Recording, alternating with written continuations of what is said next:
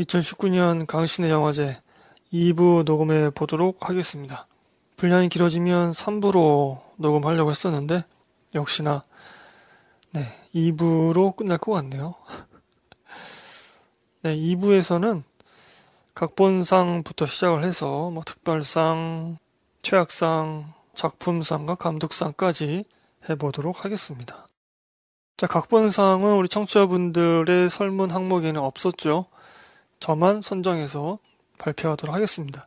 각본상, 우리가 그 시나리오 책을 직접 볼 수 있는 게 아니기 때문에 그냥 영화를 봤을 때 그 이야기 자체의 완성도 혹은 그 재미, 이것만을 기준으로 선정을 해 보겠습니다. 후보로는 좀 많이 언급해야 되겠네요. 기생충, Once Upon a Time in Hollywood, 조커, 결혼 이야기, Irishman 후보를 꼽아봤습니다.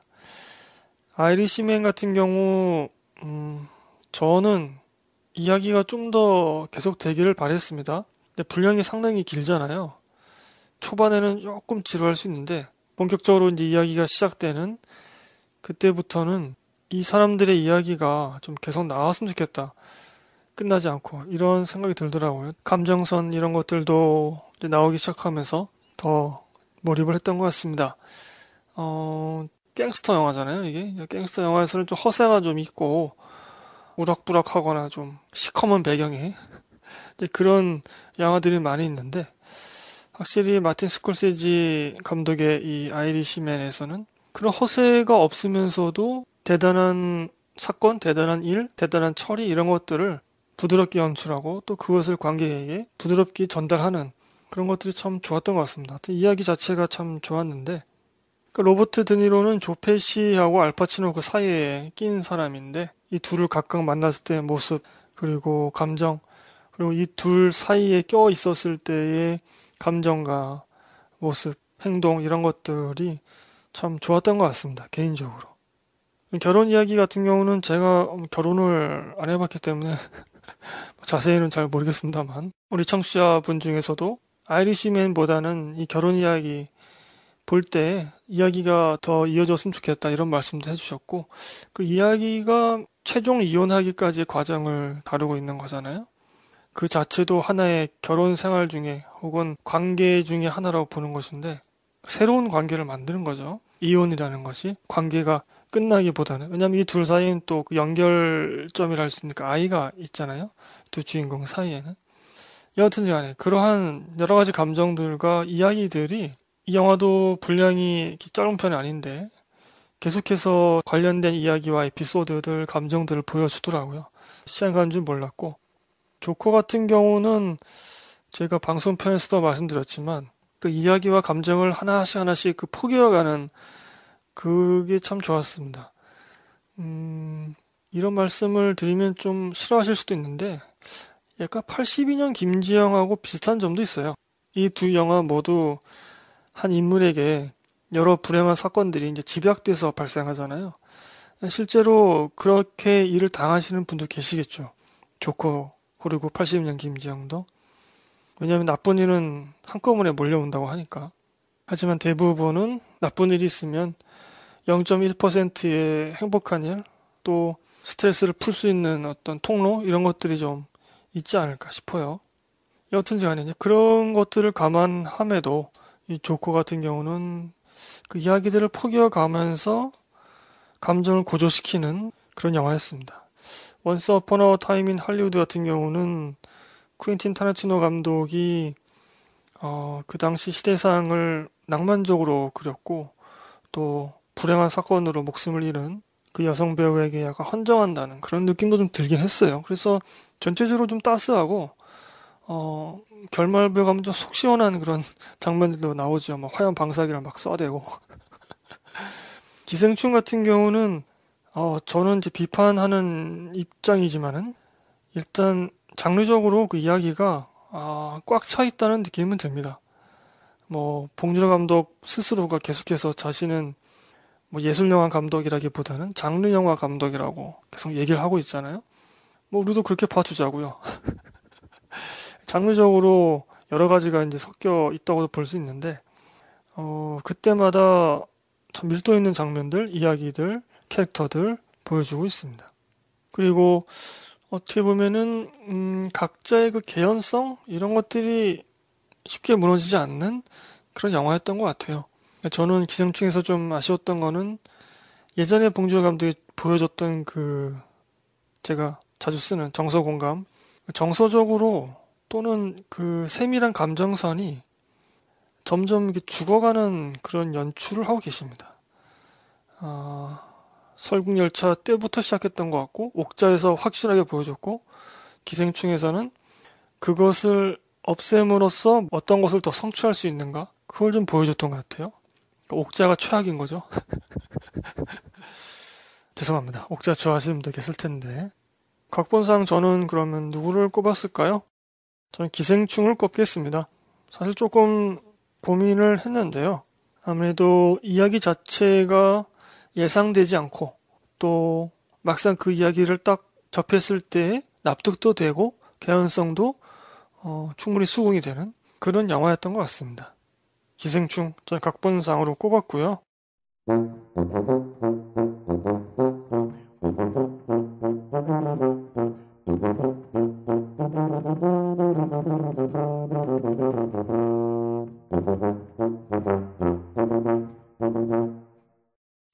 자, 여러분, 제가 지금 목 상태가 상당히 안 좋네요. 그래서 계속 헛긴침을 하면서 녹음을 하고 있는데, 목소리에 힘이 없어도 여러분 양해 부탁드립니다. 혼자 하려니까 참 심심하네요. 자, 드디어 작품상과 감독상 살펴보도록 하겠습니다.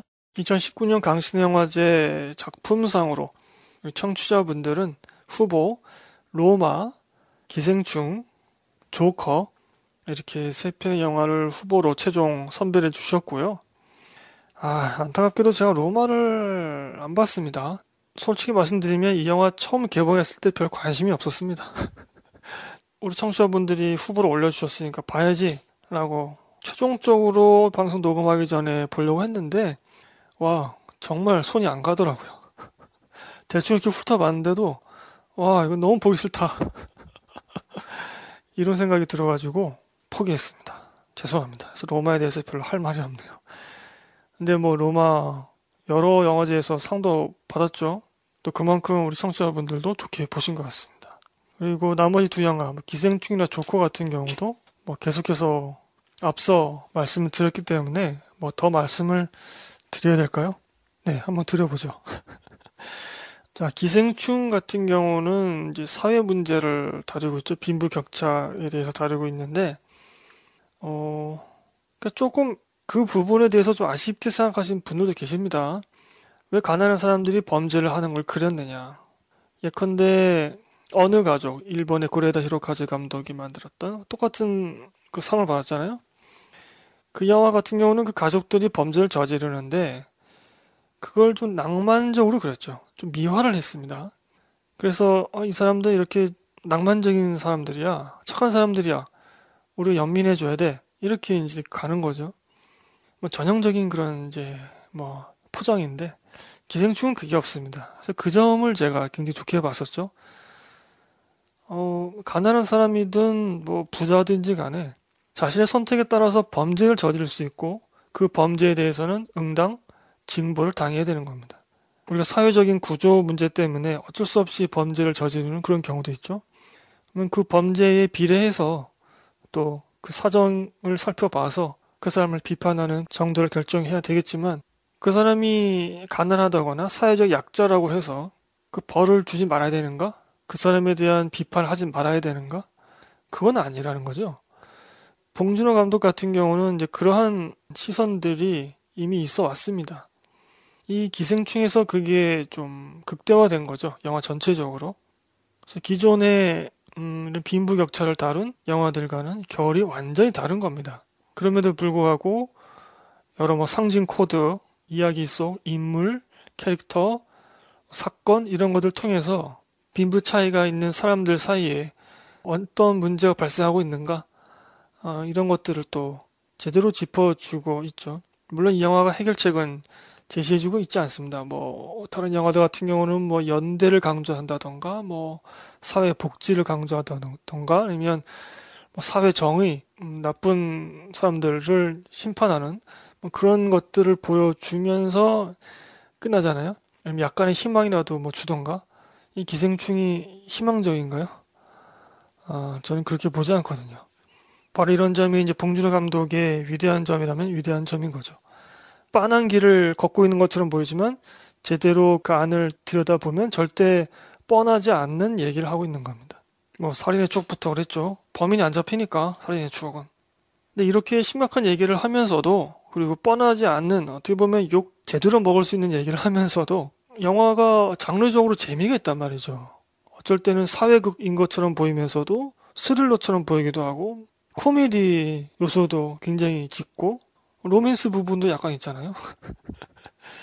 그리고 예상치 못한 지점에서 또 이야기가 변형되고 앞서 각본상에서도 말씀드렸지만 어, 작품 완성도에 있어서도 훌륭한 작품이라고 생각합니다. 물론 저는 비판했습니다. 자, 조커 같은 경우도 청취자들께서 최종 후보로 선정을 해주셨죠. 영화 속에서 분명하게 제시하고 있는 것은 사회 구조가 열심히 살려고 했던 이 사람을 점점 구석으로 거세게 밀어붙였고 그래서 이 사람은 거기서 튕겨 나간 거죠. 이 울타리 밖으로 튕겨 나간 겁니다. 그래서 쇼는 끝난 거고 그 어느 것도 자신을 억눌 수 없습니다. 자신의 부모조차도. 그래서 영화 엔딩에서 조커가 이제 마치 춤추는 것처럼 율동을 하면서 끝나게 되잖아요. 근데 제가 앞서 기생충에서도 말씀드렸지만 그런 사회 구조에 문제가 있더라도 범죄는 범죄인 거죠. 조커에서는 그거를 말해주지 않습니다. 이거 나쁜 겁니다. 이렇게 영화적으로 지적해 주지 않죠. 뭐 심판까지는 아니더라도 지적을 해줘야 되는데 그걸 안 해줍니다. 기생충에서는 일종의 영화적 심판이 내려지잖아요. 조커는 그게 없죠. 그래서 또 이제 비판을 받기도 했었죠. 우리 청취자분들 8분이 참여해 주셨는데 6표가 기생충에 갔습니다. 네. 여러분들은 작품상 기생충을 선정해 주셨습니다. 일단 영화가 계속 흥미롭잖아요. 이야기가. 제가 앞서서 각본상에서도 말씀드렸지만 그렇기 때문에 여러분들이 좋게 평가해 주신 것 같습니다. 네, 6표나 받았습니다. 조커가 4표 받았고요. 로마가 3표 받았습니다. 어, 기타 후보로는 윤희에게 그리고 더 페이버릿 여왕의 여자 이렇게 되어 있습니다. 곧바로 이어서 우리 청취자분들의 감독상 알아보도록 하죠. 후보는 비슷하네요. 알폰소 쿠아론 감독, 로마, 다음에 영화 가버나움의 나딘 라바키 감독, 영화 기생충의 봉준호 감독, 영화 아이리시맨의 마틴 스콜세지 감독 이렇게 후보가 되어 있습니다. 제가 또 가버나움을 보지 않았습니다. 네, 이 영화도 개봉했을 당시에도 별로 흥미가 없었고 이 방송편 준비하면서도 보질 못했네요. 음, 이 로마보다는 가버나움이 더 낫다, 더 현실을 보여준다 이러한 말씀도 있었던 것 같습니다. 우리 청취자분들 평가에서 자 감독상은 누구에게 갔을까요? 알폰소 쿠아론, 나딘 라바키, 봉준호, 마틴 스콜세지 중에서 6표를 또한 받았습니다. 봉준호 감독입니다.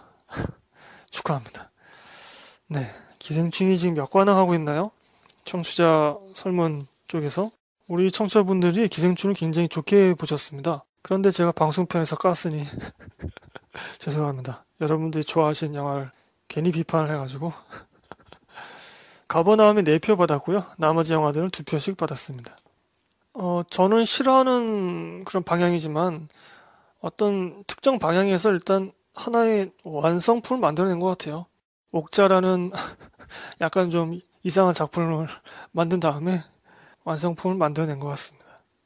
이 봉준호 감독이 음, 골든글러브나 아, 미국 아카데미에서 봉준호 감독 개인이나 이 영화가 수상할 수 있을까? 지금 미국에서는 굉장히 확률을 높게 치고 있긴 한데 그리고 토론토 영화제였던가 거기서도 외국어 영화상 이외에 또 상도 받았거든요. 그리고 미국 같은 경우는 각 주를 돌면서 그 주에 있는 비평가 협회가 선정 결과를 발표하는데 그 중에서도 뭐 봉준호 감독의 기생충이 후보에 올라가거나 또 수상을 하거나 그런 소식들이 계속해서 들려오고 있습니다. 아카데미 그 선정하는 그 집단이 있잖아요. 단체라 해야 되나? 근데 그 사람들이 어떻게 부르냐에 따라 달라지겠죠? 지금 이정원 배우하고 조효정 배우도 뭐 골든글러브 시상식에 맞춰서 미국에 간다는 이런 얘기도 있고 지금 이정원 배우를 아카데미 여우 조연상 후보로 올려야 된다. 뭐 이러한 얘기도 뉴스에서 봤습니다. 어, 그래서 이번 아카데미 시상식은 생중계로 좀 봐야 되지 않을까, 제가. 그동안 한 번도 안 봤었는데, 새벽에 잠을 설쳐서라도 봐야 되지 않을까 싶네요. 아니면 그거를 생중계 보면서 녹음을 해볼까? 몇 시간 동안? 저작권에 걸릴려나? 음, 이제 봉준호 감독이 계속해서 어딜 가든지 간에 이 얘기를 하더라고요. 한국 영화 100주년이다. 그러니까 자신이 잘나서 받았다기보다는 어떤 한국 영화에 주는 축복이다, 선물이다. 이런 식으로 계속 얘기를 하고 있습니다. 봉준호 감독이 기생충 개봉 전이었나요? 그때 무슨 어, 김여자 배우 관련해서 또 얘기가 나왔었고 약간 성적인 코드로 자신의 영화를 해석한 거 인터뷰한 것들이 돌면서 인터넷상에 한때 봉준호 감독을 엄청 깠습니다. 그래서 살인의 추억 같은 경우도 피해자를 두 번 죽이는 그런 영화다. 이제 그런 얘기들이 있었습니다. 그래서 봉준호 감독에 대해서 굉장히 나쁜 사람이다, 이 사람. 여성이 그렇게 무참하게 피해를 당한 화상 사건을 자신의 어, 상업 영화 욕망을 위해서, 야망을 위해서 활용하면서 또다시 어, 피해자들 두번 죽이는 아주 나쁜 사람이다. 이런 식으로 이제 인터넷상에 돌았습니다. 여성들이 피해를 입은 그 살인 사건인데 그를 왜 이렇게 폭력적으로 어? 묘사를 하면서 굳이 이 사건을 왜 영화화해야 하느냐 뭐 이런 얘기였죠. 트위터상에 그런 주장을 듣고선 어떤 분이 이런 말씀 하시더라고요. 아니 살인의 추억이야말로 뒤틀려진 시대상을 보여주면서 범인을 제대로 잡을 수 없었던 그 당시 상황 그것을 다시 한번 돌아보면서 우리가 그러지 말아야 된다. 그것과 함께 범인을 계속해서 추적하고 이 사건의 심각성을 잊지 말아야 된다. 이것을 일깨워준 영화 아닌가? 라고 반박을 하시기도 했습니다. 자, 우리 청취자분들은 작품상과 감독상 모두 기생충 봉주호 감독 꼽아주셨고요.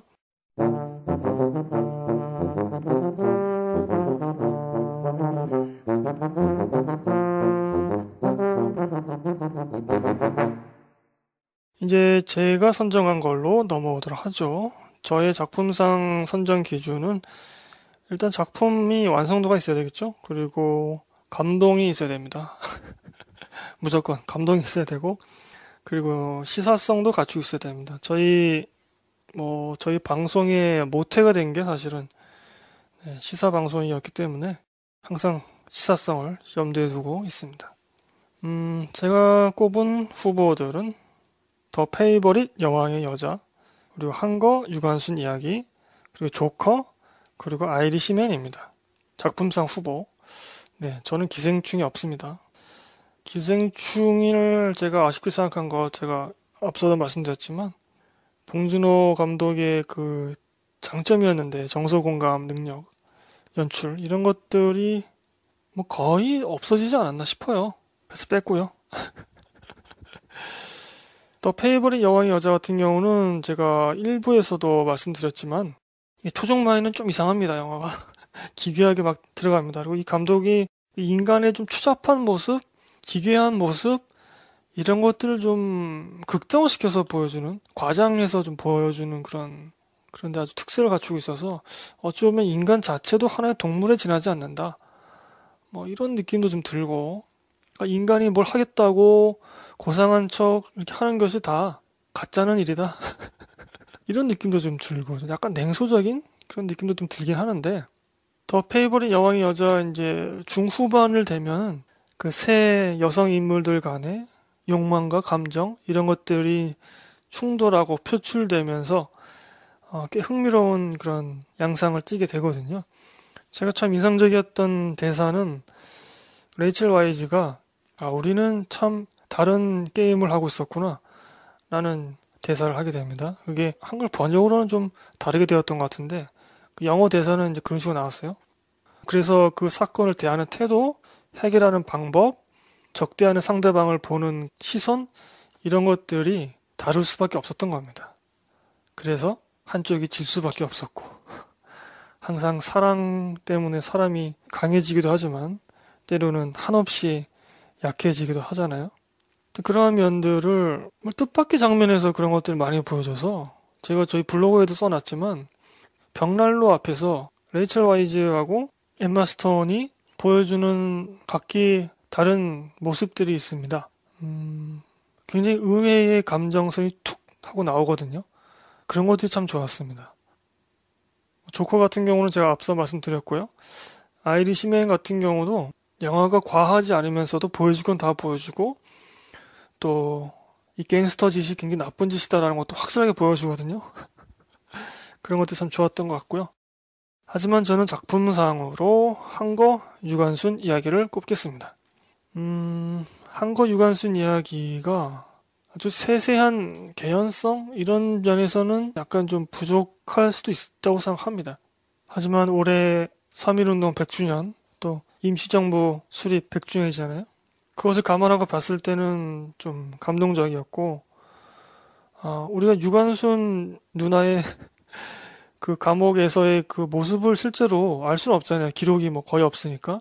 그런데 아 아마 저랬을 것 같다. 그런 것들에 좀 공감이 되는 그런 영화였던 것 같습니다. 과성 씨가 또 좋은 연기를 보여줬고요. 유관순이 보시면 완성된 인물이 아닙니다. 감옥 안에서도 뭔가를 깨우치고 성장하죠. 그래서 더 자신을 희생하기도 하고 그 안에서조차 아, 신념을 꺾지 않고 희망을 꺾지 않는 그런 모습을 보여줍니다. 음, 끝이라고 생각한 그 순간에서조차 자신에게 이건 끝이 아니야 라고 말했던 거죠. 여기서도 뭔가 할 수 있어. 그런 걸 보여주는 거죠. 조커 같은 경우는 완전히 반대죠. 구석으로 완전히 몰리니까 에라 모르겠다. 다 필요 없어. 내 마음대로 살 거야. 이렇게 되는 거고. 근데 한거 유관순 이야기는 그것이 아니었죠. 그런 면에서도 참 좋았던 것 같습니다. 네, 저는 항거 유관순 이야기 꼽았고요. 작품상으로. 그 다음에 제가 꼽은 감독상 어, 기준은 뭐 감독의 연출력입니다. 연출의 끝을 보여줘야 됩니다. 제 후보로는 Avengers Endgame, 기생충, Midsommar, 조커, 결혼 이야기 이렇게 꼽겠습니다. 어, Avengers Endgame에 대해서 평가가 갈릴 것 같은데 잘 언급해야 한다고 보고요. 음, 루소 형제 같은 경우는 참 잘 만들어요. 이 마블 스튜디오가 섭외를 잘했습니다. 감독 섭외를. 제가 뭐 영웅물을 좋아하지는 않습니다만, 음, 영웅물 같은 거 보면은 감정선이라는 게 참 단순하거든요. 약자를 구해야 되고, 뭐 내 사랑하는 가족이나 연인을 위해서 악당을 깨 부셔야 되고, 이러한 감정선이죠. 나는 할 수 있어. 난 일어설 수 있어. 뭐 책임감을 가져야 돼. 뭐 이러한 감정선만 그동안 보여줬단 말이죠. 근데 루소 형제의 그 영화들을 보면은 단선적이지 않습니다. 감정선들이 여러 개가 막 얽혀 있고 서로 충돌하기도 하고 영화 속에서 또 하나하나씩 포개어지기도 하고 그런 모습들을 계속 보여주고 있죠. Endgame 같은 경우는 Iron Man이 아주 중요한 그런 또 모습을 보여주는데 어, 루소 형제가 관여하지 않았던 그 이전의 영화들 Iron Man 시리즈 그런 것들의 감정선을 그냥 진짜 팍팍 긁어가지고 이 Avengers Endgame에서 그냥 하나의 별로 만들어줬다라는 생각이 듭니다. 그리고 관객이 무엇을 원하는지, 관객이 어떻게 하면 흥분하고 좋아하는지 알면서 영화적으로 좀 음, 승화시키기 위해서 굉장히 노력을 한 것 같은 그런 느낌이 들죠. killing point라고 그러잖아요. 우리가 주요 포인트 그런 것들이 뻔하게 느껴지지가 않죠. 굉장히 영리한 그런 감독들이라고 생각이 들고요. 어, 기생충 같은 경우는 청취자 선정에서 이미 말씀드렸죠.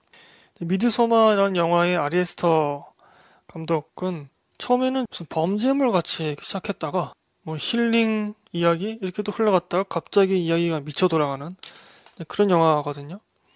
영화 시작하자마자 여자 주인공이 멘탈이 완전히 무너집니다. 아, 일종의 진실을 이제 알게 되고 거기서 복수를 하는 여자 주인공의 초점을 맞춰서 보다 보면 이제 그런 이야기이죠. 제가 이 감독의 전작인 유전을 아직 못 봤기 때문에 뭐 말씀을 더 풍성하게 드리지는 못하겠습니다만 집단의 뭐 생존, 집단의 안위를 위해서 그 집단 밖의 사람을 어떻게 대우하는가 이런 것들을 뭐 완전히 여실하게 보여주는 그런 작품입니다. 이런 세계, 이런 집단이 이 세상 어딘가에 있겠죠. 뭐 이 정도까지 미쳐 돌아가는 집단은 아닐지라도 개인적으로 저는 좀 일본 생각이 많이 났어요. 왠지 일본하고 비슷한 거 아니냐. 뭐 이런 생각이 들긴 했습니다만. 네. 그리고 후보 중에 조커도 있었는데, 그건 뭐, 제가 이미 말씀드렸기 때문에, 토드 필립스 감독이죠. 결혼 이야기를 연출한 노아 바움백 경우도 관객이 결혼을 했던 혹은 이혼을 했던 안 했던 간지 간에 그 영화에 좀 부드럽게 진입할 수 있도록 또 몰입할 수 있도록 그런 장치들을 잘 연출한 것 같습니다. 자, 제가 지금 말이 긴데요. 말이 길다 보니 목소리가 점점 쉬네요. 어벤져스 엔드게임, 기생충, 미드소마, 조커, 결혼 이야기. 아, 좀 고민을 이것도 많이 했습니다. 공동 선정하겠습니다. 봉준호 감독과 조커의 토드 필립스 감독 꼽겠습니다. 제가 조커 방송 편에서도 말씀드렸지만 조커는 아쉬운 점이 좀 있습니다. 저는 그 결말부는 좀 상당히 아쉽다고 생각하고 앞서도 말씀드렸듯이 그 범죄에 대해서 지적을 하지 않은 것도 아쉽다고 생각이 들지만 이번에 조커를 다시 보면서 느낀 거는 예전에 봉준호 감독의 살인의 추억에 비해서는 약하지만 각 장면 혹은 각 에피소드들을 연결할 때 감정들이 계속 이어지게끔 하는 것들이 좀 보이더라고요. 그리고 난데없이 인물이 춤을 추잖아요. 계단에서도 막 춤을 추고 화장실에서도 막 춤을 추고 그리고 영화 엔딩씬에서도 마치 춤을 추는 율동 같은 걸 막 보여주죠. 그게 만약에 다른 영화 같으면 굉장히 난데없거든요. 뜬금없고 이게 뭐냐 싶은 거죠. 뮤지컬 영화야? 이렇게 생각할 수도 있는데 이 영화에서는 그런 것들이 수긍이 갑니다. 물론 그 배우의 연기가 훌륭한 것이 가장 큰 요인이겠지만은 그러한 것들이 저는 거부감이 들지 않았거든요. 갑자기 춤을 추는데. 그 춤추는 장면을 받아들일 수 있게끔 그 이전에 미리 사전 작업을 했다는 거죠. 우리 관객이 알게 모르게. 여튼 그래서 저는 기생충의 봉준호, 조커의 토드 필립스 공동 선정을 하였습니다. 자, 작품상하고 감독상 함께 청취자 여러분과 저의 선정을 읽어보았고요.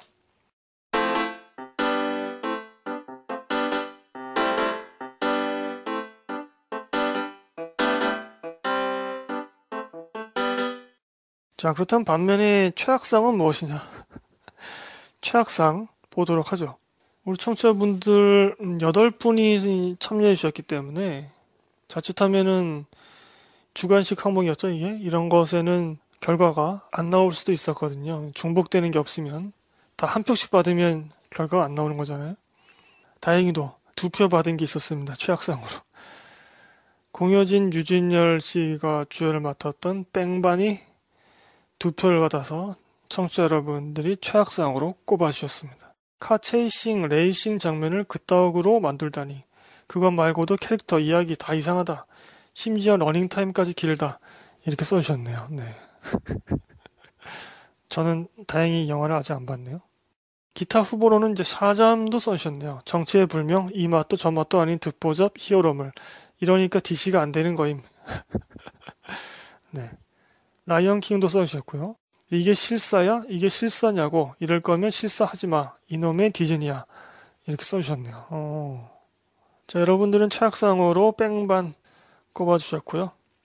저는 최악상의 후보로 4편의 영화를 꼽았습니다. 마야광, 나란 말싸미, 매기, 벌새 이렇게 꼽았습니다. 네, 상업 대작 2편, 인디 영화 2편 이렇게 되어 있네요. 아, 마야광을 보면서, 아, 송강호 불쌍하다는 생각밖에 안 들었습니다. 특히 후반인가요? 결말부에 막 송강호 혼자서 총 쏘고 막 그러잖아요. 이게 뭐 1인 연극 보는 것도 아니고 너무 송강호한테 몰빵한다 뭐 이런 생각이 좀 들었어요. 이게 얼마나 힘들었을까 송강호가. 봉준호 감독이 마야광을 보고 한 소리인지 아닌지는 모르겠는데 기생충 하기 전에 송강호의 전작을 보면서 아, 송 선배 참 많이 힘들었겠구나. 그런 생각을 했다고 어, 인터뷰한 것도 제가 본 기억이 있네요. 우리 시대의 이 대배우를 이렇게 소모시키면 안 되죠. 나라말싸미 같은 경우는 한글을 창제를 하는데 그 스님께서 이름 까먹었네요. 무슨 스님께서 굉장히 큰 역할을 하셨다. 그런 것을 기반으로 해서 만든 영화입니다. 처음에는 세종대왕의 한글 창제 이야기라고 해서 굉장히 기대를 많이 했죠, 우리가. 요즘 들어서 아, 디지털 시대에 우리 한글의 위대함을 더 잘 깨닫고 있지 않습니까? 그런데 음, 정사 쪽이 아니라 야사라고 해야 되나? 뭐 이제 그쪽으로 빠져가지고 영화를 보면은 세종이 전체적인 지휘를 하지만은 뭐랄까 실물을 맞지 않는 그러고 보니 이 영화도 송강호 씨가 나오네요. 그러니까 역사적 사실의 하나의 가능성을 그냥 보여주고 그것이 관객을 납득시킬 수 있으면 되는데 너무 동떨어진 거죠. 그 근본이 너무 약했다는 거죠. 매기 같은 경우는 제가 올해 본 영화 중에서 아마 평점을 제일 낮게 줬을걸요. 시사성도 갖추고 있긴 합니다.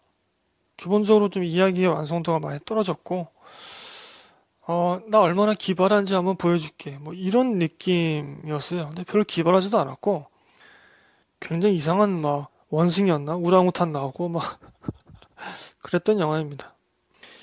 벌새 같은 경우도 제가 꼽았는데요. 우리 청취자분들이나 또 일반 관객분들이 굉장히 좋게 평가하신 영화죠. 죄송합니다. 한국에서도 그렇고 뭐 세계적으로도 지금 여러 상을 받고 있습니다. 저는 이 영화를 자기 연민으로 꽉 차 있는 영화라고 생각을 하고 있습니다. 음, 이 영화 갖고도 우리 청취자분과 블로그에서 길게 얘기를 나눈 적도 있지만 이 영화 속에 나오는 인물들은 이 주인공을 다 괴롭힙니다. 나 불쌍해. 나 불쌍한 사람이야. 나 불쌍했었어. 이것만 계속 보여주고 있습니다. 조커도 그런 양상으로 가지 않습니까? 어, 근데 조커 같은 경우는 사회적인 문제를 또 언급하고 감정선을 굉장히 농밀하게 계속 구축해 가고 있거든요. 또 그 와중에서도 이 인물이 범죄를 저지르기도 하잖아요. 근데 이 벌새 같은 경우는 또 사회적인 문제, 그냥 머리에 핀 하나 꼽듯이 그냥 장식용으로 하나 뭐 철거 문제 나오고 재개발 문제 나오고 성수대교 붕괴한 거 나오고 이런 식으로 그냥 수단으로만 활용되죠. 직접적으로 그 여주인공에 타격을 주는 게 아니에요. 그 사회 문제가. 그냥 오로지 모든 영화의 요소들이 여자 주인공 불쌍하다는 것을 돋보이기 위해서 소비되고 있습니다. 음, 그 김세벽 배우의 모습을 또 많이 좋아해 주신 분들이 계시는데 싸우고 있는 두 여학생들 앞에서 갑자기 노래 불러요. 우리 현실에서 그런 사람 만나면 어떨 것 같으세요? 아, 좀 잘 모르겠습니다. 자, 저는 최악상 벌스 꼽았습니다. 어, 일부러 좀 벌스 꼽았어요. 이게 좀 나쁜 습관인데 제가 오기가 좀 있어가지고 과연 이 영화가 우리가 이토록 온 영화계, 온 관객들이 칭찬에 나서도 될 만한 영화인가? 저는 전혀 동의를 못하겠습니다. 개인적으로 음, 벌새보다는 맥이 평점을 더 낮게 줬었는데 최악상에는 조금 좀 다른 의미도 부여해서 우리는 이런 식으로 흘러가선 되지 않는다. 어, 그런 의미로 벌새를 좀 오기 삼아서 최악상으로 꼽겠습니다. 아, 이런 영화가 한 10년 전에 나왔으면 좀 괜찮았을 것 같아요. 음. 아니, 한 10, 15년 전에? 요즘에 이런 영화가 이렇게 평단에서도 좋은 평가를 받고 이거는 좀 문제라고 생각이 듭니다. 아니 우리 옛날에 천사들의 합창인가 뭐 그런 비슷한 류의 영화들 막 나올 때 정말 어린 애들이 막 싸우고 있어요. 어른스러운 그런 사람이 딱 갑자기 멋있는 노래 딱 부르면은 그 애들이 싸우던 거 멈추고 마음을 진정하고 이렇게 바라보는 그런 느낌과 좀 비슷하네요. 이게 언제적 영화인지 감독 본인의 이야기가 좀 들어가 있는 걸로 알고 있는데 자기 연민에 굉장히 빠져 있는 거죠. 어, 방송편으로도 녹음한 영주 같은 경우도 그 초반 설정 같은 경우는 감독 본인의 이야기거든요. 부모님이 모두 사고로 돌아가신 거. 그 영화가 그 주인공 정말 그 어린 여자 주인공을 어떻게 다루고 있는지 한번 비교해 보십시오. 마냥 연민만 시키고 있지 않습니다. 아주 혹독한 훈련을 시키고 거기서 성장하게 만들죠. 마지막 결말 씬을 한번 비교해 보십시오. 네, 아, 벌새를 좋아하시는 분들께는 정말 죄송합니다.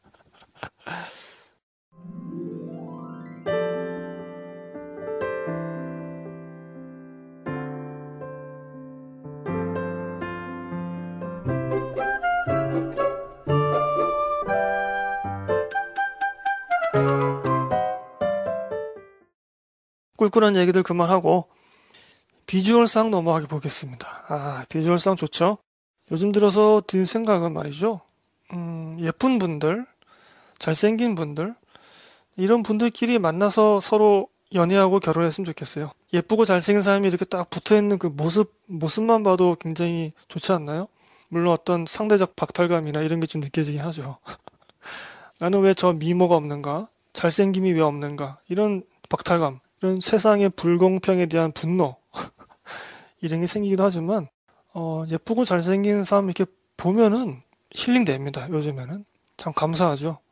음, 이 어두운 세상에 정말 등불 같은 존재들이시죠. 자, 비주얼상. 다행히도 우리 청취자분들 설문에서도 두 표 받은 분이 계셨습니다. 가장 보통의 연애에 공효진 씨가 두 표 받으셨습니다. 공효진 배우가 오랜만 아닌가요? 이런 로맨스물에 나온 거. 공효진 배우의 의상이 매우 좋았다. 이렇게 써주셨네요. 자, 기타로는 말모이란 영화가 있었죠? 거기에 윤계상 씨, 내 이상형, 무슨 역할을 맡든 다 멋지고 잘생겼다. 그리고 아사쿠라는 이제 일본 영화가 있었는데, 시가시대 마사히로, 남자 배우죠? 장시간의 영화를 끝까지 보게 만든 잘생김. 바로 이런 거죠. 네. 아, 그 미모의 힘이라는 게 바로 이런 거 아니겠습니까? 뭐 3시간짜리 영화를 할지라도 전혀 지루하거나 지치지 않게 만드는 그 힘, 바로 미모입니다. 그다음에 유열의 음악 앨범에 김고은 씨 같이 본 친구들이 그녀는 목과 팔다리가 길어서 원피스의 자태가 너무 곱다며 극찬들을 해댔다. 아 정말 공감이 되네요. 제가 또 아, 김고은 씨를 좋아하잖아요. 김고은 씨가 이렇게 여리여리한 느낌이 있죠. 팔다리가 길어서 개인적으로는 좀 싱그러운 맑은 그런 느낌이 있어서 좋아합니다. 네. 그리고 메리 퀸 오브 스코틀랜드의 시얼사 로넌 아름다움과는 다른 아름다움 연기 잘함은 덤이다. 네, 연기도 잘하고 아름답다. 아름답기도 하고 연기도 잘한다. 네, 이런 말씀인 것 같습니다. 하여튼 간에 우리 청취자분들은 공효진 배우 꼽아주셨고요. 저는 음, 기생충의 조여정 배우도 후보였습니다. 아, 조여정 배우가 너무 잘 돼서 정말 기쁩니다, 요즘에. 어, 조여정 씨가 참 예쁘죠. 게다가 연기도 잘하고. 어, 근데 인정을 좀 늦게 받아가지고, 제가 앞서도 일부에서 말씀드렸었나요? 에로틱한 영화에서만 자주 좀 활용이 됐어가지고, 이건 우리 한국 영화계의 단점이죠. 편협한 시야만 계속 갖고 있었던 거죠. 그 사람이 연기도 좀 볼 수 있어야 되는데, 그런 것들을 주목하지 않았던 거죠. 하지만 저는 어, 우리 청취자분들이 기타 후보로 언급해 주셨던 메리 퀸 오브 스코틀랜드의 시얼사 로넌을 꼽겠습니다. 비주얼상으로 선정했습니다. 저는 이 배우가 예쁜 거를 몰랐어요. 그동안. 예쁘다는 얘기는 많이 있었는데, 아, 이번 영화에서 정말 예쁘시더라고요. 연기도 굉장히 성숙했다고 해야 되나? 나이가 그렇게 많지 않은 걸로 알고 있는데, 연기도 굉장히 좋았고요. 또 예쁘니까. 근데 아무리 예뻐도 연기를 못하면 저는 별로 예뻐 보이지 않더라고요. 이 배우는 정말 이 영화에서 연기도 잘하고 예쁘기도 했습니다. 강단 있는 그런 캐릭터거든요. 그거를 굉장히 잘 소화하셨고 사랑에 빠진 표정, 또 배신할 때, 배신 당할 때 그런 표정이라든가 그런 것들도 예뻤습니다. 자, 시얼사 로넌 저는 꼽았습니다. 네, 발음이 좀 어렵네요.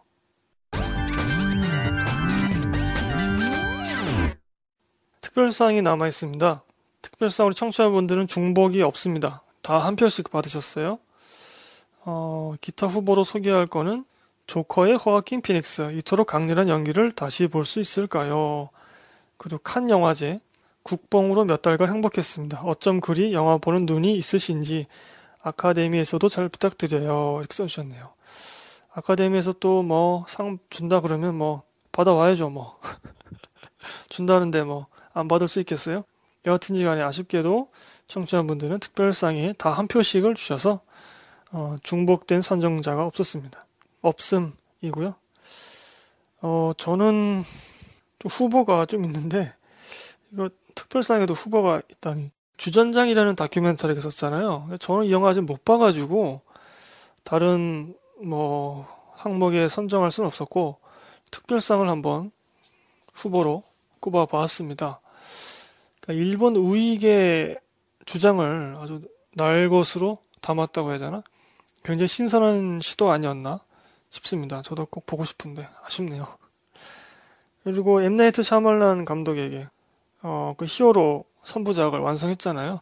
개인적으로 언브레이커블과 23 아이덴티티를 좋아했었고 정서적으로 음, 이끄는 힘이 있거든요. 이분은 그 표면과 이면을 좀 다르게 봐야 되는 영화들을 찍으시죠.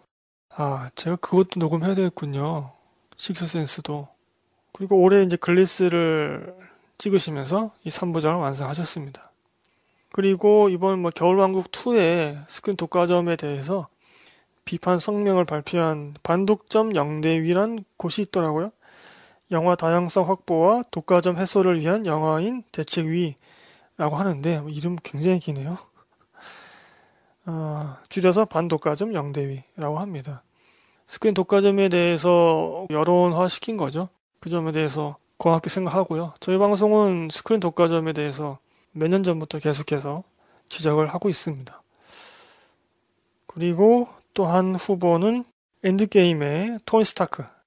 저는 이 후보들 중에서 네, 두 명을 꼽겠습니다. 반독과점 영대위, 토니 스타크 이렇게 꼽았습니다. 이 스크린 독과점 비판에 대해서 왜 한국 영화가 그럴 때는 가만히 있다가 외국 영화한테만 이렇게 따지느냐 이런 비판의 목소리도 있는데요. 그렇게 비판하신 분들은 아마도 스크린 독과점에 대해서 비판 의식을 갖고 있더라도 심각하게 생각을 안 하시는 거죠. 어, 이 반독과점 영대위 같은 경우는 아무래도 뭐 팔이 좀 안으로 굽기도 하겠죠. 하지만 얼마 전에 그 백두산의 스크린 독과점에 대해서도 비판 성명을 내기도 했습니다. 그리고 여러분 아시겠지만 제가 좀 이따가도 소개해 드리겠지만 스크린 독과점을 가장 강력하게 하는 집단은 외국 영화들이에요. 그 점을 좀 아셨으면 좋겠고 그다음에 뭐 자기가 좋아하는 영화들이 스크린 독과점 비판을 받는다고 해서 그렇게 뭐 기분 나빠하실 필요는 없습니다. 자기가 좋아하는 건 좋아하는 거고 또 비판하는 건 비판하는 거죠. 그게 합리적인 거 아니, 아닐까요? 스크린 독과점에 대해서 지금 뭐 국회 통과가 됐는지 모르겠네요. 법률적으로 지금 어떻게 한다는 얘기가 있었는데 강제 조정을 거쳐야 되지만 이게 또 너무 지나쳐서도 안 되고 좀 효율적으로 세밀하게 다룰 필요가 있는 사안인 것 같습니다. 왜냐하면 돈과 연관돼 있어서 굉장히 민감한 거죠. 어, 그리고 직접 생기가 걸리는 분들도 계시니까 이 수도권에서 영화 보시는 분들은 상대적으로 스크린 독과점 문제에 대해서 폐해, 심각성 이런 것들을 좀 느끼시기가 어렵죠. 영화관이 많으니까 수도권에는 근데 지방에는 그렇지 않거든요. 토니 스타크 같은 경우는 제 캐릭터를 뽑았는데 엔드게임의 감동을 위해서 참 적절하게 희생해 주어서 감사하다. 그런 마음이 드네요. 음, 참 인간적인 영웅이죠. 토니 스타크는. 아이언맨보다는 토니 스타크라는 이름으로 꼽았습니다. 두려움을 알고 있었고 또 두려움에 좌절하고 실패한 적도 있는 어, 그러한 인물이고 그렇기 때문에 더더욱 그것을 이기기 위해서 여러 가지 시도를 했죠. 또 그 시도가 더 나쁜 결과를 낳기도 했지만 하지만 반면에 이렇게 생각할 수도 있죠. 내가 당했던 내가 느꼈던 그 두려움이 내가 사랑하는 다른 사람들을 억누르는 그건 내가 차마 볼 수 없다. 제가 저희 그 엔드게임 방송편에서 말씀드렸지만 I am Iron Man 이라는 그 대사는 단순히 자신의 캐릭터성을 보여주는 것뿐만 아니라 타인을 위해서 내가 헌신하고 희생하겠다라는 그런 다짐이 들어가 있는 그 대사입니다. one, two, three에서 그거를 쭉 이어지더라고요. 그런 감정선이. 그리고 엔드게임에서도 두려움에 떨면서 더듬거리면서 I am Iron Man 이라는 대사를 하게 되죠. 두려움에 떨면서도 그 신념, 그 다짐을 놓고 싶지 않았고 또 놓을 수가 없었던 거죠. 그런 인물이 바로 토니 스타크입니다. 엔드게임이 이런 것들을 잘 담아낸, 그려낸 영화였고 또 저희 방송편이 그걸 설명했으니까 여러분 영화를 안 보셨더라도 한번 청취해 주시면 감사하겠습니다. 자, 특별상 여러분들은 중복된 게 없었고 저는 반독과점 영대위 그리고 토니 스타크라는 캐릭터 에게 특별상을 부여했습니다.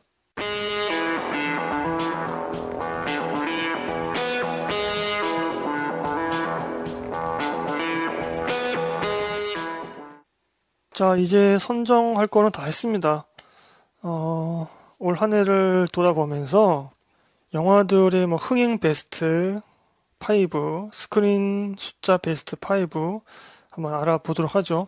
똑같이 우리 강신 영화제 그 해당 기간처럼 2018년 12월부터 2019년 11월까지 개봉한 영화들의 흥행 성적 스크린 숫자 각각 알아보도록 하겠습니다.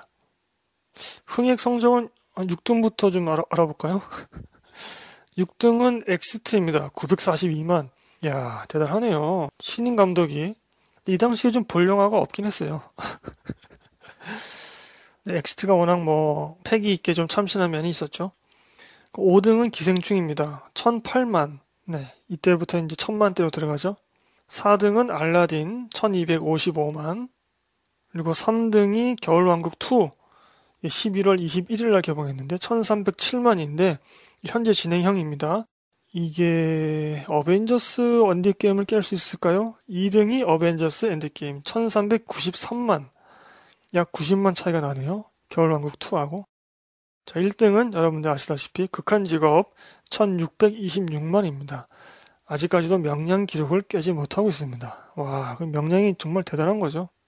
자, 디즈니의 영화들 어벤져스, 겨울왕국, 알라딘 이렇게 세 편이 2, 3, 4등을 차지했습니다. 네, 이게 다 몇만인가요? 5천만 정도 되네요. 어, 기생충이 천만 넘었던 것도 좀 의외입니다, 저는. 음. 자, 스크린 숫자 베스트 5도 알아보겠습니다. 음, 요거는 베스트 5인데, 아, 7등부터 한번 알아볼게요. 라이온 킹 7등입니다. 1936개. 6등은 기생충 1948개. 12개 차이네요. 5등이 극한직업 2003개. 와, 이제 뭐 2000개 나오기 시작합니다. 4등이 캡틴 마블 2100개. 3등이 스파이더맨 파프롬 홈 2142개. 네, 2등이 어마어마한 숫자네요. 겨울왕국 2 2648개입니다. 와, 3등하고 차이가 500개 차이 나고요. 상영 점유율이 73.9%입니다. 1등은 네, 여러분들 이미 짐작하셨겠지만 어벤져스 엔드게임입니다. 2835개. 미친 거죠? 상영 점유율이 80.9%. 와, 대단한 거죠. 스크린 숫자도 많지만 이제 더 적확한 그런 지표는 상영 점유율이죠. 스크린 독과점을 알 수 있는 통계 지표. 자, 디즈니를 한번 알아봅시다. 이 중에서 어벤져스, 겨울왕국 2, 스파이더맨, 캡틴 마블, 라이온킹. 하나, 둘, 셋, 넷, 다섯 개. 네. 상위 다섯 개 영화가 디즈니 영화입니다. 그러니까 디즈니 영화를 까야 되겠어요? 말아야 되겠어요? 스크린 독과점에 대해서. 더 깔 수밖에 없는 거죠. 물론 한국 영화라고 해서 또 내가 좋아하는 영화, 잘 본 영화라고 해서 스크린 독과점 비판을 하지 않는다는 건 아닙니다. 자, 여기까지 우리 강신의 영화제 기간 동안의 흥행 스크린 숫자 순위를 알아보았고요.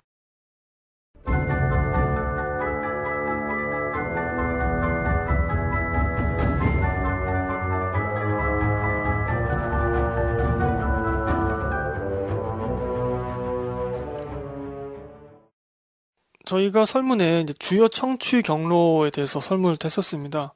작년에 2018년도에는 쥐약과 파티 모두 40% 똑같이 이렇게 기록했었는데 올해 2019년에는 쥐약이 37.5% 파티가 62.5% 이렇게 됐습니다. 파티가 이제 과반을 넘어갔죠. 파티 청취하시는 분들이 조금 더 많으시나요? 전 그런 것 같지는 않은데. 적극 참여층이 이제 파티를 청취하신 것 같네요. 음. 왜냐면 저희 그 파티 쪽에는 재생 숫자, 다운로드 숫자가 표시가 되거든요. 파티로 청취하시는 분들의 숫자가 그렇게 높지 않은 것 같아요. 네. 쥐약이나 아니면 다른 어플로 청취하신 분들이 좀 고르게 퍼져 있는 게 아닌가. 오히려 파티 청취하신 분들은 좀 숫자가 적은 것 같은데 적극 참여층은 아마 좀 많이 계신 것 같습니다. 음, 감사합니다, 여러분. 어, 긴 설문에 모두 참여해 주셔서 감사드리고요. 올 한 해 또 저희 방송 애청해 주셔서 감사드립니다.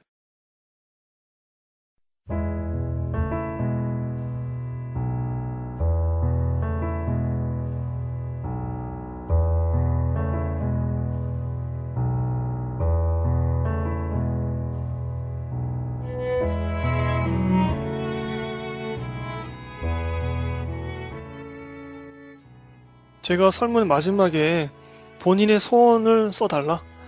혹은 스스로에게 하고 싶은 말 있으면 써달라. 이렇게 제가 부탁드렸습니다. 제가 작년까지는 저에게 혹은 저희 방송에게 덕담이라든가 건의 혹은 비판 이런 것들 적어달라고 했었는데 저에 대한 거 말고 여러분 스스로에 대한 여러분의 생각 그것 좀 궁금해서 이런 설문을 부탁드렸습니다. 하나씩 읽어보겠습니다. 돈 잘 벌고 싶다. 정말 중요한 거죠. 돈 잘 벌어야 됩니다, 여러분. 돈 없으면 고생합니다. 네, 우리 청취자분들 풍족하게 버셨으면 좋겠습니다. 우리 그 기독교 아 기독교 얘기 갑자기 나오네. 기독교에서 이제 비판받고 있는 것이 어, 너무 돈돈돈 거린다. 그리고 뭐 축복받아라. 뭐 이런 거 많이 얘기하잖아요. 너무 세속적으로 빠진 거 아니냐. 이런 얘기, 비판이 좀 있습니다. 너무 그것에만 초점 맞추면 안 되죠. 원래 종교의 목표는 그게 아니니까. 그런데 일상생활을 살면서, 이 세상을 살면서 돈도 중요하거든요. 아니, 돈이 중요하지 않는다는 건 거짓말이죠. 그렇지 않겠어요? 저는 여러분들이 돈을 다 잘 벌기를 바랍니다. 네, 정말로. 정직한 방법으로 또 자신의 노동의 대가에 딱 부합하게 그렇게 다 돈 잘 버시기를 바라겠습니다. 그리고 써주신 거는 가족 건강 로또 최소 3등 이상 당첨. 네, 돈이네요 이것도. 영화 200편 이상 보기. 와 1년 동안에? 오 이거 엄청난데요? 우리 건담 많이 만들기 이렇게 써주셨네요. 네 어떤 분이 써주신 건지 알 것 같은데. 네 이 소원들 모두 이루시길 바라겠습니다. 음, 저는 로또, 로또를 제가 어릴 때 뭐, 복권이었죠? 그때 복권. 어릴 때 한번 해봤었나? 그래서 천 원짜리 한번 됐었나? 그런 유행이 잘 안 되더라고요, 저는. 그리고 가족 건강이 중요하죠. 아, 정말 질병에 아파하면은 아프지 않은 가족들도 다 아파지는 것 같아요. 자신 사랑하는 가족이 이렇게 아프면 안 되죠. 우리 청취자분들이 행복하게 사시기 위해선 우리 여러분들의 가족도 건강하셔야 됩니다. 그리고 눈 돌리지 말고 끝까지 응시하자. 어, 좋은 말씀인데요. 제 좌우명하기 좀 비슷하네요, 이게. 눈 돌리지 말고 끝까지 응시하자. 음. 그리고 강신혜님 올해도 감사드려요. 이렇게 써주셨네요. 제가 더 감사드리고요. 내년에도 청취 부탁드리겠습니다. 그리고 또 써주신 게 좀 덜 바쁜 한 해가 되길 이렇게 써주셨네요. 아, 많이 바쁘셨나 보군요. 건강을 잘 챙기시길 바라겠습니다. 음, 바쁘다 보면은 아무래도 뭐 식사하는 것도 좀 부실해지고 어, 너무 힘들다 보면은 입맛이 없거든요. 그러면 또 자극적인 음식 드시게 되고 스트레스 쌓이면 또 술 엄청 드시게 되고 그럼 또 몸 상하는 거죠. 건강도 잘 챙기실 바라고요. 그리고 써주신 거는 성장하는 사람, 아름다운 사람이 되고 싶습니다. 이렇게 써주셨네요. 어, 좋은 말씀이네요. 네, 꼭 이렇게 되시기를 바라겠습니다. 음, 원하시는 대로. 성장하는 사람, 아름다운 사람. 그리고 좀 길게 써주셨는데, 시간과 관심이라는 한정된 자원을 보다 가치 있는 일에 쏟자. 가족들과 소중한 사람들의 마음을 사려 깊게 헤아리고 그들에게 감사와 사랑을 표현하는 일을 미루지 말자. 어, 되게 좋은 말씀이네요. 음, 제가 얼마 전에 TV 쪽에서 그런 얘기를 들었던 것 같아요. 뭔가 이렇게 공허하고 마음이 채워지지 않을 경우가 있잖아요. 이제 그럴 때 나를 사랑해 주는 사람들을 한번 돌아보자. 그리고 그 사람들이 기뻐할 만한 일을 해보자. 그렇게 하다 보면은 내 마음의 공허함들, 뭐 불안감 이런 것들이 사라지더라. 그런 말이 있었는데 지금 여기 써주신 거 감사와 사랑을 표현하는 일을 미루지 말자. 이 말씀 들으니까 갑자기 생각났습니다. 그리고 냉정한 자기 성찰을 통해 후회 없는 일들은 그대로 툭툭 털어내고 좀 더 요령 있게 좀 더 온건하게 할 수 있었던 일들은 새로운 시각과 인내를 배우는 기회로 삼자. 그리고 저에게 주시는 말씀. 강신혜님 올해는 영화를 많이 보지 못해서 각 질문에 대한 답변이 궁색할 수밖에 없어서 아쉽습니다. 내년에는 더 풍성한 내용으로 참여할 수 있기를 기대해 봅니다. 강신혜님과 이 팟캐스트에 늘 감사하고 있습니다. 그 소박함과 솔직함을 사랑하고 그 안에 숨어 있는 예리함과 통찰력에 감탄하곤 합니다. 감사합니다. 팬심에 걸맞는 활동량을 보이고 있지는 못하나 이렇게라도 말씀드리고 싶었습니다.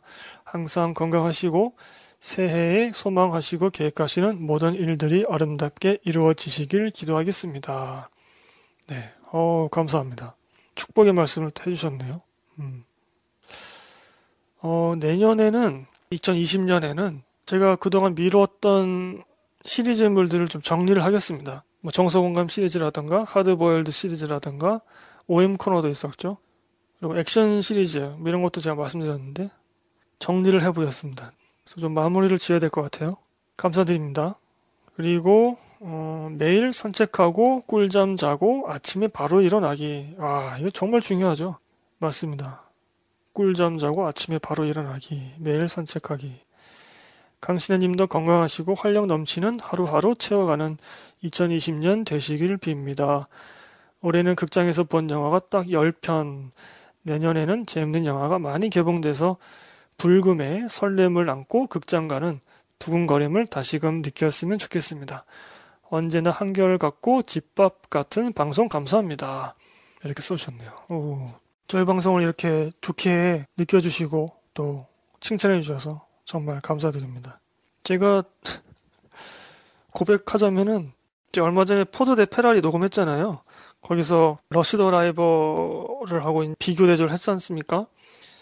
그 러시더 라이벌은 좀 더 그 레이싱에 집중했다 이런 말씀을 드리면서 이제 포드 대 페라리의 아쉬운 점을 말씀드렸는데 제가 그 러시더 라이벌 방송편을 옛날 방송편을 다시 들어봤습니다. 그랬더니 거기서는 아, 드라마가 강조된 영화다 이렇게 아, 딴 말을 했더라고요.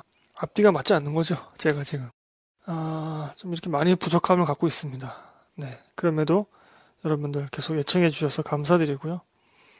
그리고 마지막 글입니다. 강신의 수다님과 애청자 여러분들과 함께 영화 관람 그리고 만찬 즐기기 이게 소원이라고 써주셨네요. 제 소원 이루어지게 도와주실 거죠? 강신의 수다님. 크크 이렇게 써주셨네요. 작년 2018년도에 여러분들이 써주신 그 덕담 건의 글도 보니까 거기도 이런 비슷한 글이 있더라고요. 함께 만나서 영화도 보고 뭐 맥주도 한잔하고 뭐 이런 건의가 있었습니다. 재밌게 제가 못해드릴 것 같아가지고 눈만 멀뚱멀뚱 뜨고 그냥 네, 그럴 것 같아요.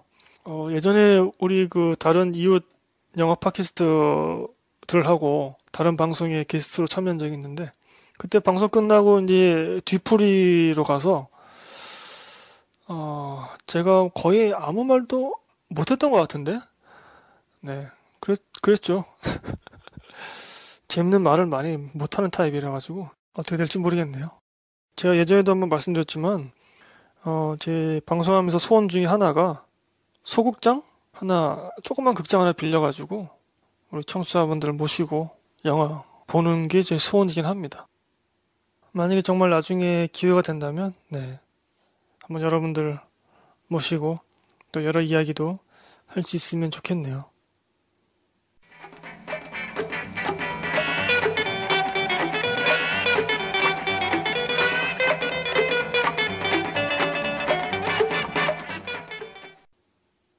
자, 여기까지 녹음하겠습니다.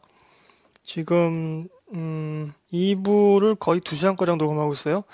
제가 편집은 좀 많이 하겠지만 어, 목이 완전히 갔네요. 이거를 이제 편집을 또 빠르게 해야 올해 안에 청취하실 수 있을 거라서 지금 마음이 굉장히 바쁩니다. 너무 늦게 지금 영화제 편을 녹음하고 있네요.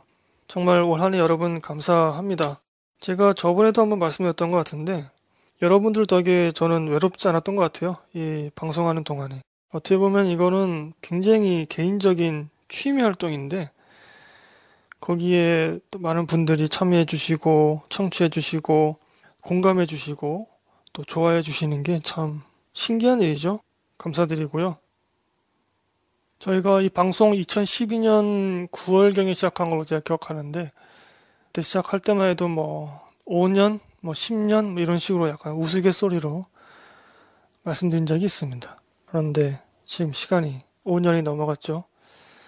어, 시간이 빠릅니다, 여러분. 아주 옛날부터 계속 청취해 주시는 분들도 계시는 걸로 알고 있는데요. 정말 감사드리고요. 앞으로도 청취 부탁드리고 부족한 점들 있으면 항상 뭐 거침없이 저희 트위터나 블로그나 이메일로 알려주시면 됩니다. 제가 뭐 그런 비판 이런 것들 뭐 마음 상하거나 그러지 않습니다. 오히려 청취자가 떠나는 게 마음 아프죠. 어, 지금 무슨 영화 보셨나요? 코너도 밀려 있는데, 네, 요것도 제가 2020년에는 좀 빠르게 마무리할 수 있도록 하겠습니다. 여러분 올 한 해 감사했습니다. 2020년도 여러분들이 원하는 소원들, 지금 적어주신 소원들 이루어지기를 정말 저 개인적으로도 바라겠습니다. 1월 초에는 조금 휴방을 하고요. 어, 좀 쉬어야죠, 저도. 연말에 너무 달렸더니, 아이고, 지금 그리고 편집하지 못한 원본 방송도 하나 있거든요. 그것도 편집해야 돼가지고. 1월 초에는 좀 쉬고, 한 1월 중순쯤부터 다시 업데이트를 할 것 같습니다. 그때 여러분 다시 뵙겠습니다. 여러분, 감사합니다. 안녕히 계세요.